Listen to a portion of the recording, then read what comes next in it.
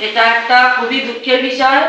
আমার একটা পুরাতন ভিডিও নিয়ে আজকে সন্দেশকালীর আন্দোলনকে তৃণমূল অসম্মান করার চেষ্টা করছে। এই যে ভিডিওটাকে নিয়ে আজকের এই সন্দেশকালীর আন্দোলনকে অসম্মান করছে, সেই ভিডিওটা আজকের এই বিজেপি, এই ভারতীয় জনতা পার্টি আমাদেরকে সাহায্য করার এবং- সন্দেশকালীর মুখ হিসেবে আজকের আমাকে প্রার্থী করার আগের ভিডিও।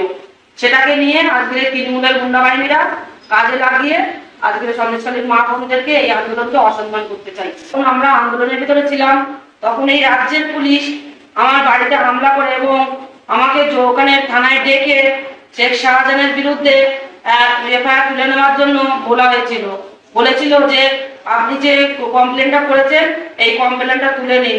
একটা দরখাস্ত লিখে জমা দিন যে শেখ শাহজাহান কোনো দুর্নীতি করেনি আর সন্দেশকালীর উপরে কোনো জোর জুলুম করছে না এরকম ভাবে বলে আমাকে একটা দরখাস্ত লিখে দিতে বলেছিলেন।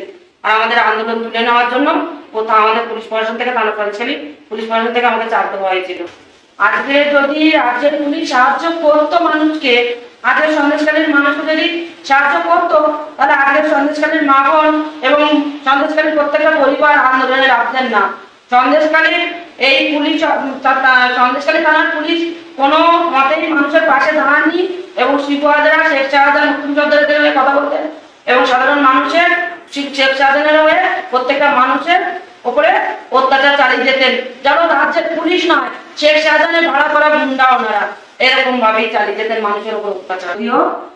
যৌন হেনস্থার বিষয়টা আমরা উল্লেখ করেছিলাম কিন্তু রাজ্যের পুলিশ আমাদের পাশে দাঁড়ায়নি আমাদের সহযোগিতা করেনি। মাননীয় মুখ্যমন্ত্রী আজকের এই সন্দেশকালী অত্যাচারিত মা বোনেদের পক্ষে একটা কথাও খরচা করেননি, ব্যয় করেননি। আজকে পিসি বাড়িতে মিলে প্রত্যেকটা সবাই সবাই গিয়ে শুধুমাত্র সন্দেশকালীন মা বোনেদের উল্লেখ করে গাড়ি গালা এবং নোংরা নোংরা কথা বলে চলেছে। আজকে যে সন্দেশকালীন মা বোনেদের পাশে এসে দাঁড়ানো দরকার ছিল, সেটাও তিনি করেননি। আর আজকে সন্দেশকালীন মুখ হিসেবে আমাকে প্রার্থী করা হয়েছে বলে তাও আজকে উনি ওনার উম, গুন্ডা বাহিনী তৃণমূলের গুন্ডা বাহিনী দিয়ে নানান রকম ভাবে উনি আজকে ষড়যন্ত্র করেই চলেছে। এখনও অবধি যে সন্দেশকালীন মা বোনেরা শুধু আমি নয় সেই সন্দেশকালীন মা বোনেরা এখন অব্দি আন্দোলন যে আন্দোলন করেছিলেন তাদের উপরে মুখ্যমন্ত্রী এবং এই তৃণমূল বাহিনী তৃণমূলের গুন্ডা বাহিনীরা এবং রাজ্যের পুলিশেরা এখনও অব্দি অত্যাচার চালিয়ে বেড়াচ্ছেন। রাতের অন্ধকারে